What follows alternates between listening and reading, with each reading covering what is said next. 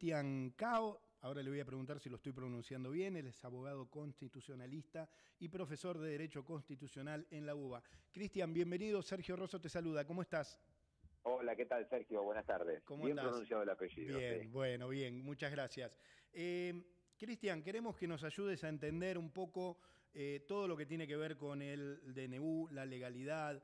Muchos puntos generan controversia. ¿Qué nos podés decir eh, de acuerdo a tu experiencia, de acuerdo a tu saber? Bueno, el decreto de necesidad de urgencia que eh, fue publicado y tuvo vigencia y actualmente está vigente desde la publicación en el boletín oficial, tuvo a lo largo de todo el país, pero particularmente en Capital, varias impugnaciones judiciales. Bien, La más importante es la que declaró la inconstitucionalidad del título 4 del decreto de necesidad de urgencia, que es el título referido a la reforma laboral, a las modificaciones del derecho del trabajo. bien, Ese, ese título está declarado por ahora, porque la sentencia de la Cámara de Apelaciones de la Capital Federal no está firme, suspendió momentáneamente la aplicación de ese título.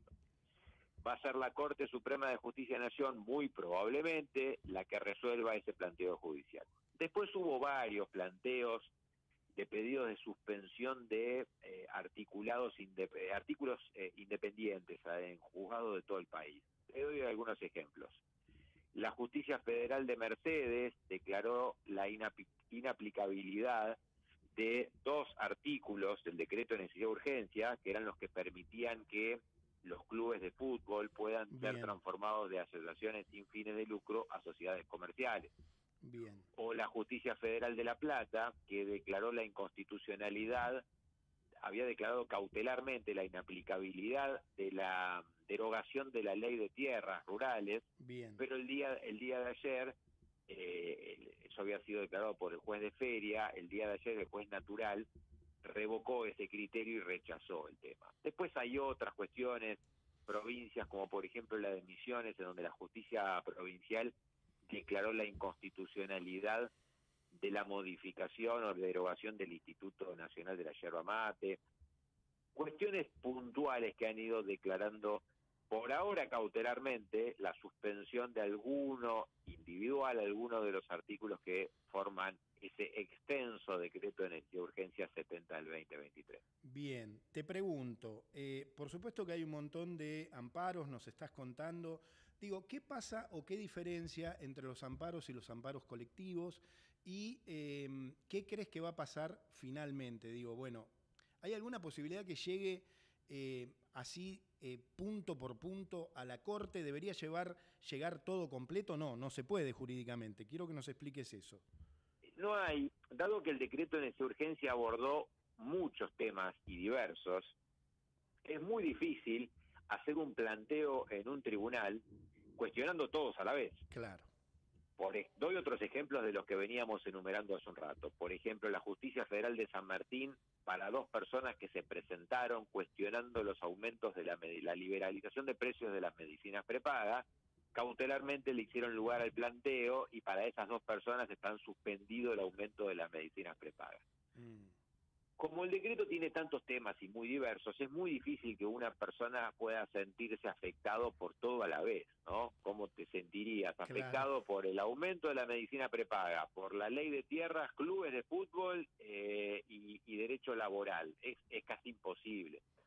Por eso, eh, también hay un planteo efectuado por la provincia de La Rioja. Tal vez este es el que sí genéricamente pueda llegar a encuadrar porque lo hace una provincia contra el Estado Nacional respecto a que entiende la provincia de La Rioja que no me dio ni necesidad ni urgencia para que el presidente tenga argumentos y pueda dictar ese decreto de necesidad de urgencia. Ese caso está en la Corte Suprema de Justicia de la Nación, con otros que se van a ir acumulando muy rápidamente. Por lo tanto, yo creo que esto va a terminar con una sentencia de la Corte Suprema de Justicia de la Nación que declarará si el decreto de necesidad de urgencia es constitucional o no lo es, en base a cuatro criterios. El primero, si hubo necesidad, el Bien. segundo, si además hubo urgencia, el tercero, si además de necesidad y urgencia hubo imposibilidad de que los temas sean abordados por el trámite legislativo, estos son los tres requisitos que pide la Constitución Nacional en el artículo 99, inciso 3. Y un último tema, sí.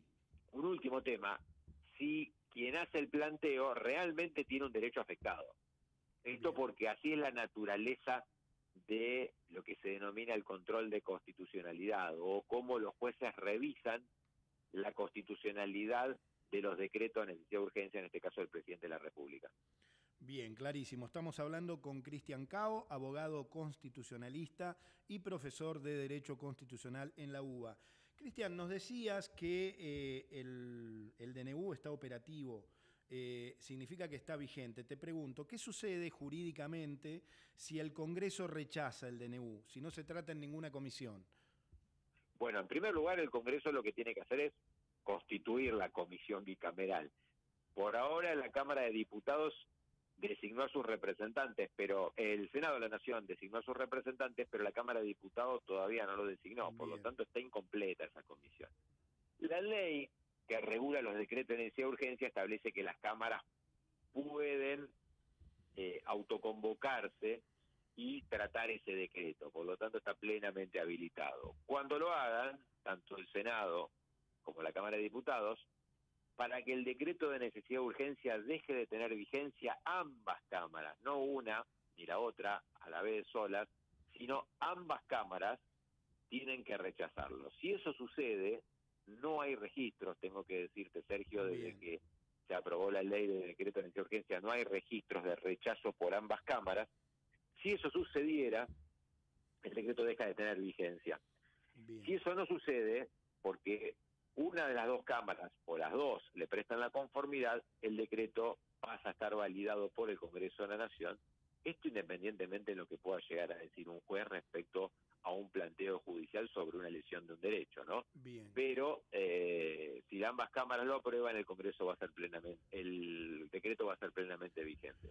Eh, estamos hablando con Cristian Cao, abogado constitucionalista y profesor de Derecho Constitucional en la UBA. Hay otro tema, Cristian, que me gustaría hablar con vos que genera mucha polémica, que es el protocolo de seguridad.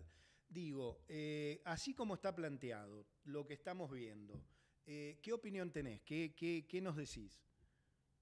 Mira, el protocolo de seguridad es una reglamentación para las fuerzas federales que el Ministerio de Seguridad diseñó. De alguna manera, yo creo interpretarlo que es para evitar la discrecionalidad del, del, de la gente, ¿no? Del, del, del, personal de la fuerza de seguridad, porque le explica con detalle, bueno, de qué manera proceder y deja fuera todo procedimiento por fuera del protocolo. Mm. Por lo tanto, especifica algo que eh, le, le, le, elimina el criterio para que en ese momento tenga que resolver sobre una cuestión. Bueno, puedo de esta manera detener a una persona, ¿qué pasa si es un niño o niña adolescente? cómo intervenir, de qué manera fáctica en el caso concreto de un corte de calle, un piquete, eh, debe intervenir y qué es lo que debe hacer. Hay que estar en el lugar de la mm. situación, porque frente a una situación que muchas veces son de violencia, lo que no debe hacer, en mi opinión, eh, la, la, reglamentación es dejar al criterio del, del, personal, bueno, que haga lo que quiera, que haga lo que pueda.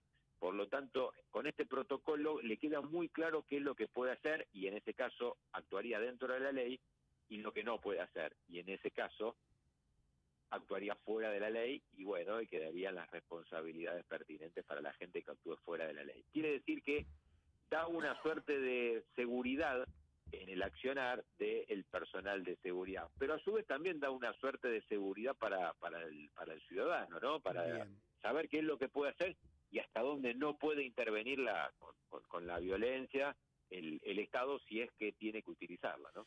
Cristian, eh, voy un poquito más allá. ¿Qué, qué ¿Qué le respondes a aquellos que dicen que viola eh, tratados internacionales, etcétera, etcétera, eh, derechos del niño, esto de no poder llevar un niño a la protesta? Digo, ¿qué, qué nos decís al, al respecto puntualmente con estos temas?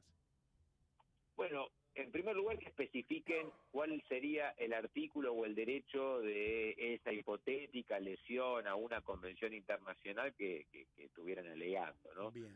Eh, en segundo lugar, el hecho de llevar a un niño a una protesta, yo lo, lo, lo, lo, saco del ámbito jurídico. Me parece que eso pasa al ámbito social, sociológico, hasta podría decir ético-moral, ¿no? Estar llevando a una protesta a un niño niña adolescente, este, no, no, no, quiero entrar a una solución legal. yo, yo lo llevaría a una solución psicológica más que legal, ¿no?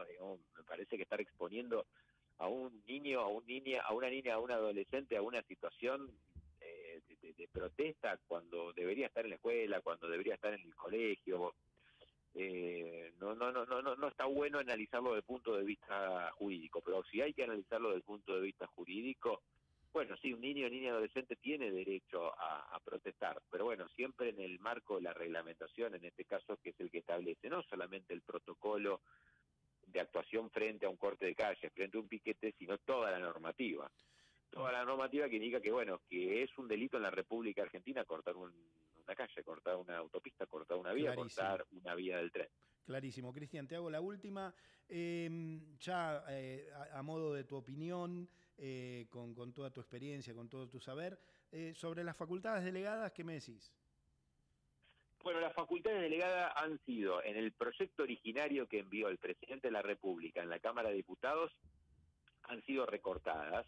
Mm. En mi opinión, Sergio, el recorte ha sido saludable porque las competencias eran amplias e incluso abordaban algunas cuestiones que la Constitución expresamente prohíbe, que no pueden ser materia de delegación, como por ejemplo la creación de, impuestos o tributos. La Constitución es muy clara en eso. Solamente el Congreso de la Nación puede crear impuestos, puede eh, mm, eh, dictar normas referidas a los impuestos. Y la delegación, en su versión original, incluía la delegación fiscal. La nueva versión, que hoy se está tratando en la Cámara de Diputados, porque está tratando el tema en particular de la aprobación de la, de la ley que tuvo aprobación en general, acortó y acotó esta competencia. Quiere decir que no le delegaría al Congreso eh, al presidente de la Nación competencia en materia fiscal o impositiva. También lo recortó en otra materia previsional, por, por ejemplo, eso sí lo podría haber delegado, pero en materia fiscal no lo hace. Ese es el primer punto. El segundo punto es que también acortó el plazo de la delegación, cuando originariamente estaba pensado en dos años, el proyecto que ahora está, que fue aprobado en general y que se está aprobando en particular, se está tratando en particular, lo acorta a un año este plazo de la delegación. Por lo tanto, habrá que ver cómo avanza en el recinto, en la Cámara de Diputados, el tratamiento en particular de todos y cada uno de los artículos, y después recordemos que esto también tiene que superar la instancia del Senado de la Nación. Bien. Son las dos cámaras las que tienen que aprobar esta ley ómnibus. Recién está empezando el tratamiento en particular de la Cámara de Diputados, quiere decir que todavía hay bastante para, para rodar. Cristian, clarísimo como siempre, te agradezco muchísimo la comunicación. Chao Sergio, que tenga buenas tardes. Un abrazo grande, Cristian Cao, abogado constitucionalista y profesor de Derecho Constitucional en la UBA, pasó aquí en Rosca y Casta.